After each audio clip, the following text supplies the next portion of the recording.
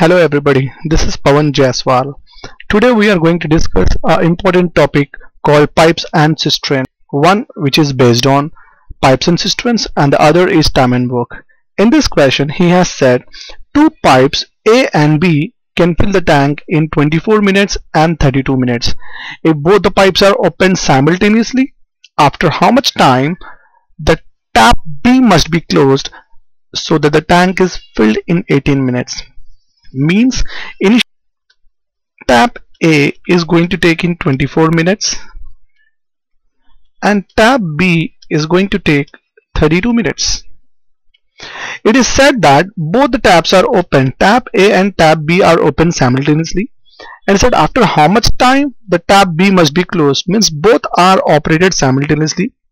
We have no idea how much time they are going to take and is said the tank is full in 18 minutes. Means the total time is said is 18 minutes.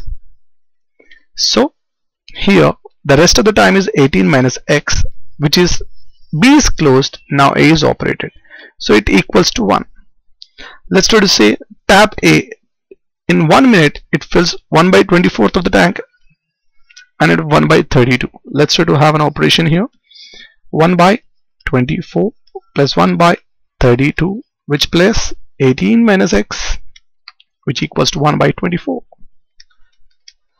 now let's try to use a direct LCM of all this. Let's try to take away the complete LCM the LCM is 96 this is going 4 times and this is going 3 times.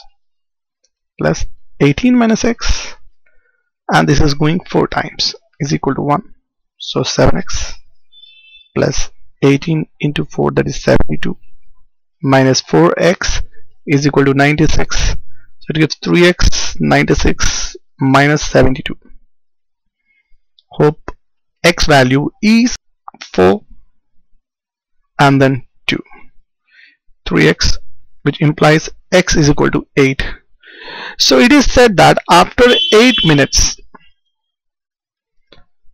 tab B must be closed in order to get the answer. Thank you very much.